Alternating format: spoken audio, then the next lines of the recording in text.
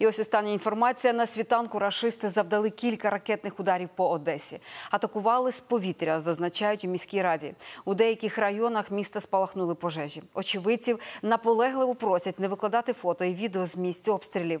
Окупанти продовжують знищувати важливу інфраструктуру по всій країні. Зруйнували Кременчуцький нафтопереробний завод. Внаслідок масованого обстрілу підприємство практично знищене. Ракетний удар по Миргороду пошкодив аеродром. Голова Полтавської обласної військової адміністрації Дмитро Лунін повідомив, що засобами протиповітряної оборони вдалося знищити кілька крилатих ракет. Однак три ворожі ракети пошкодили злітну смугу. Зайнявся склад паливно-мастильних матеріалів. Внаслідок ворожих ракетних ударів у Полтаві жертв і поранених на щастя немає.